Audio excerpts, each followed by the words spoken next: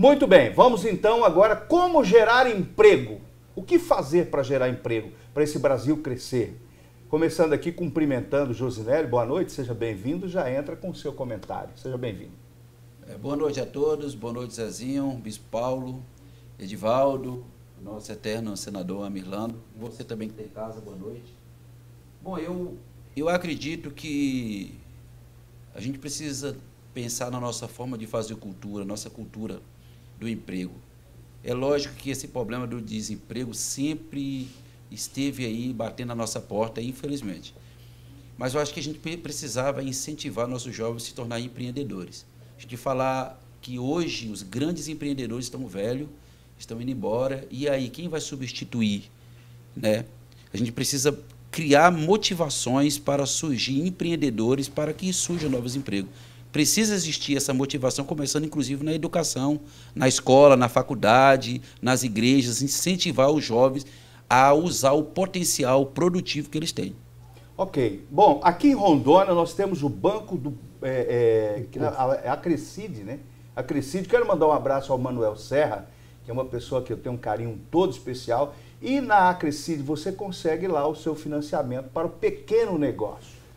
É, um pequeno negócio começa de alguma coisa. E foi nisso, nesse sentido que o Josinelli falou. Mas, Ami, o que fazer para gerar emprego, Ami? Qual é a Existe alguma mágica para gerar emprego? É o desenvolvimento econômico e social. Não tem outro caminho. Quer dizer, é o crescimento econômico que vai gerar emprego. Ah, eu, eu, eu vejo que Rondônia é um, uma, um estado especialíssimo. A nosso, o nosso processo industrial está engatinhando, está começando. Vamos começar com um, raciocínio muito simples: a municipalização da economia. O que se consome no município pode se produzir no município. Quer dizer, naquilo que é fundamental, não as coisas mais sofisticadas, não precisa ser automóvel nem avião, claro. Mas nós aqui temos um, um, um espaço imenso. Por exemplo, aqui nós poderíamos ter um grande centro de TI, né?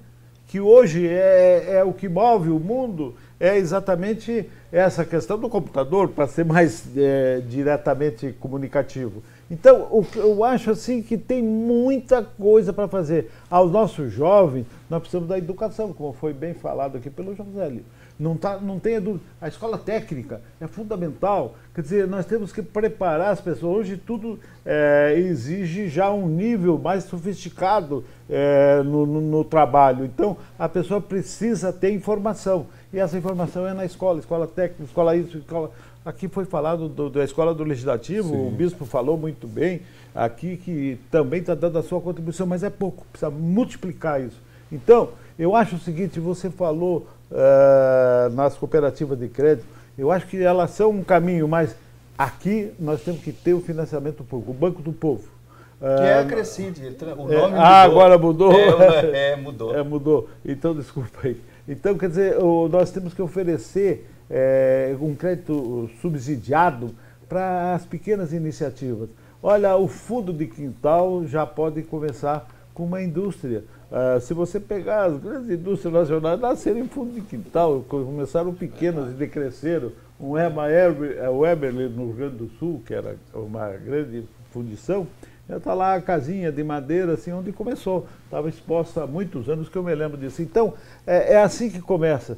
É a pequena a estrutura né, que vai gerar essa atividade, vai gerar emprego, vai gerar riqueza e vai gerar. Nós precisamos de, de planejar esse país. Está na hora de pensar no futuro. Está na hora de pensar décadas na frente. É, porque não se pensa aqui hoje administrar um exercício assim de caixa Quer dizer, o que entra, o que sai, é um, é um negócio assim, um balcão. Não é um balcão. A, a, a atividade administrativa implica em você criar um amanhã melhor. A atividade política é a essência de construir um amanhã melhor para a sociedade. Então ok, é isso que nós é queremos. Interessante, só para uh, melhorar aqui, uh, dar subsídio, uh, eu estive visitando aqui um, um pessoal que é venezuelano, que está aqui em Porto Velho, ele está fabricando berço em casa. Mas se você ver, não tem madeira para ele fabricar o berço. Ele está fabricando ali berço, banquinho, umas coisinhas. É, é, sabe, o investimento é tão pequeno para fazer com que essas pessoas deslanchem naquilo que sabe fazer, E o Amir falou uma coisa certa aqui quando ele lembrou do Banco do Povo, subsidiado pelo governo do Estado, pode investir e incentivar o pequeno negócio, qualquer negócio que a pessoa faça. Paulo Cavalcante. É, como eu estava comentando anteriormente, né, o que fazer? O que fazer para que decole? Né? Claro, financiamento foi, foi falado muito bem, o senador comentou, fez um resumo geral, e, e, e realmente um incentivo. Um incentivo tem que haver. Um, eu gostei muito do comentário do senador, que um fundo de quintal pode transformar em alguma coisa. Por exemplo, eu, tinha, eu tenho um amigo nosso aqui, né, é, nosso irmão de fé, estava é, trabalhando, inclusive numa das, das casas aqui que fechou na pandemia, né, restaur um restaurante grande que tinha aqui na, na rua Brasília, que fechou, e ele sempre foi o churrasqueiro lá, mas ele sempre também teve a profissão é, de mexer com madeira. Ele voltou para Nova Califórnia, porque não tinha mais emprego aqui, e lá em Nova Califórnia ele começou a trabalhar na, na, na pequena indústria, que o pai estava já se aposentando, ele começou a fazer de novo carrocerias. Tem até fotos aí, eu não sei se o Evandro conseguiu visualizar. Ele está ele tá, ele tá fabricando é, é, carrocerias, ele está fabricando móveis rústicos, está né? Tá fabricando bancos, está fabricando mesas, até mandei por, por algumas fotos aí, depois se puder, mostre. Então você vê, é um, um, um, um,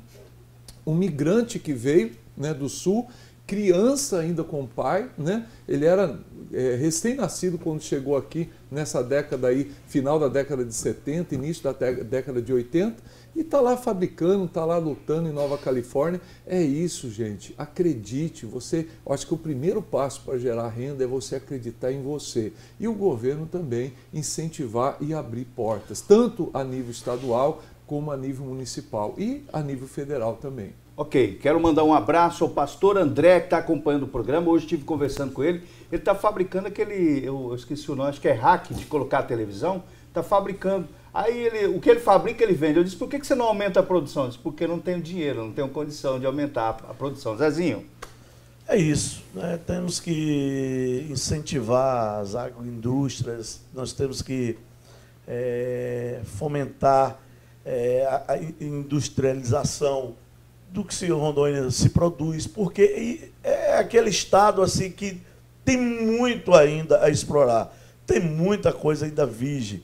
Então Rondônia é um celeiro, Rondônia é, é pujante, então falta agora é, é aqueles que quer, é, que é o empresário que venha gerar emprego.